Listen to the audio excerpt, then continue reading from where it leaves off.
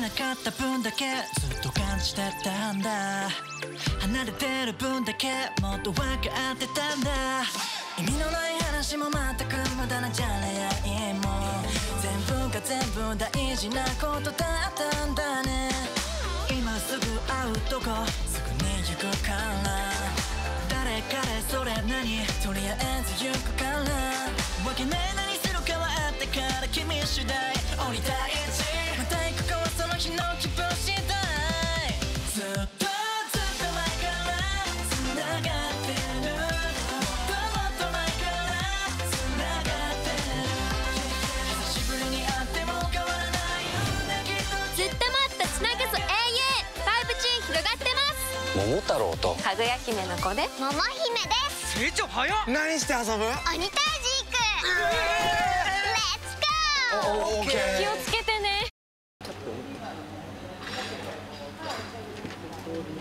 桃太郎と。かぐや姫の子で桃姫です。成長早っ。何して遊ぶ？鬼退治行く。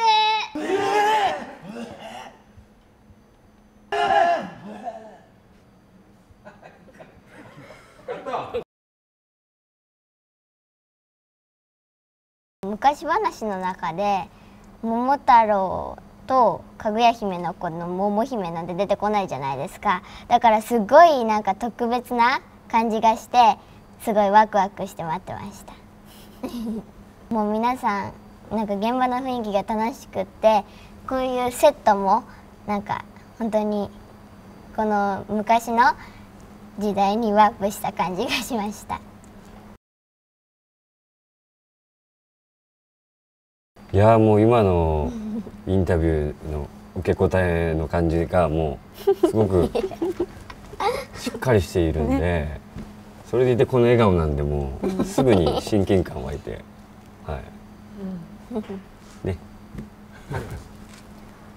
なんかやっぱ佇まいからししっかりされてるのが伝わってくるのってなんか普通に友達と話すみたいに 喋っちゃうついつい 学校の話とかしました、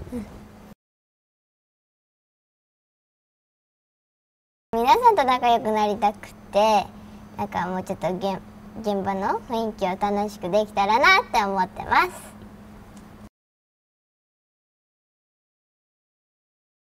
願ったり叶ったりという、羨ましいと思うかもしれないです、やっぱりこの笑顔が、うん、なんかこっちも元気になるんで、うん。この笑顔がいいですね。この無邪気な屈託のないそのそれだけの才能を持ち合わせていても決しておごることなく屈託のない年相応にいてくれるのが いいなと思います。ああそうだね。うん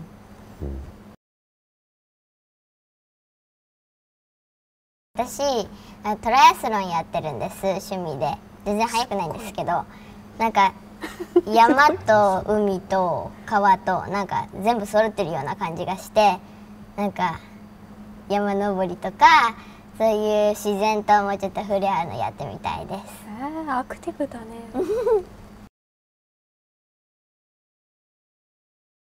成長したなというかやっぱ年齢ももう2829の年なのでしあの現場にも下の子たちがふ増えてきたんですよね。うん。なんかやっぱ前は自分が一番下の立場だったけどこうやって下の子たちが増えてなんか、なんだろう自然とこうコミュニケーションを取れるようになってきたのがすごいなんか自分でもびっくりしてます。うん。大根おろしが食べれるようになった辛かった？大根おろし。最初は辛いなと思ってたんですけどあの最近は焼き魚に大根おろしとかぼすかけて食べるのが好かぼす？すごいね。きになりました。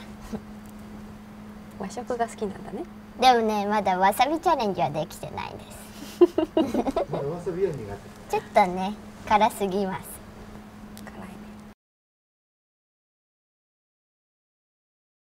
今ではないんですけどトライアスロンはあの1年生の時から大会に出ていてあの全然速いわけでもなく最後から3番目ぐらいなんですけどゴールするの。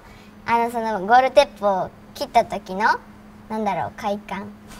うん。というか、あのやりきったっていうのが好きでうん。毎回出てます、お母さんととかがやってたのもあるんですけど家のガレージに自転車ロードバイクが飾ってあってそれを見てかっこいいなと思ってやり始めました。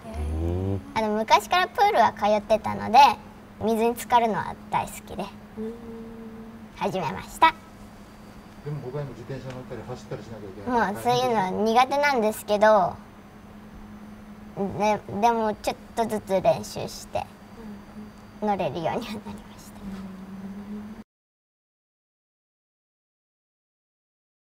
まあわりかし僕もそういう外に出て遊ぶのが好きだったんで、まあスキーとかサッカーとか、うん、スキーできる？次全然できないです。あ本 できそう当できそうだね。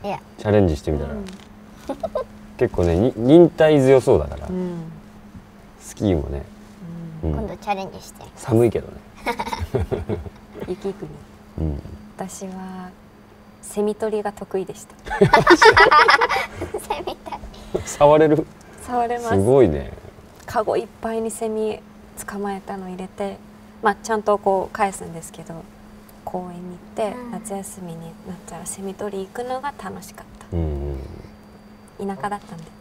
虫苦手って女性ね結構いらっしゃいますけど大丈夫なんですか？セミは大丈夫です。マジで逆にセミすごくない？なんか形が、うんもううん、大丈夫。今も？今も。おお。大丈夫です。触れる？セミ大好きです。すごいな。俺無理だな。なんかあのセミってあのここの頭のちょっと下持つとすごい心臓の音がドクドクドクドク感じられるんですあー聞こえるよね。あの羽の付け根ぐらいね。あれとこうやってつかん、うんうん。掴まないと感じられないじゃないですか、じゃないですか。だからまあそれがいつも嬉しくて嬉しくて。ね楽しいよねいやダメっていうかなんかまあう小さい時は気にしてなかったんですけどね。構造とかなんかリアルに分かってきちゃうと、確かに。うん、ちょっとね、うん、いやもうねトライアスロンもできて、お芝居も上手でこの笑顔だったら僕も見習わないとなっていうところの方が多いかもしれないな、うん、まあでもそのままでねうん。いてくれればいいんじゃないですか。そのままでいてほしいですね。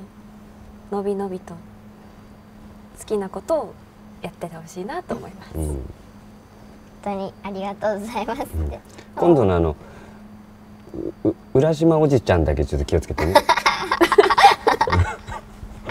うらちゃん。うん、アドリブいっぱいしてくるから。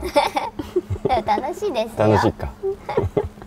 浦島おじさんはあの予測が不可能なんでねどういう感じで来るかね。まあそこは勝負ですね、はい。はい。変化球が飛んできますね。うん、ありがとうございました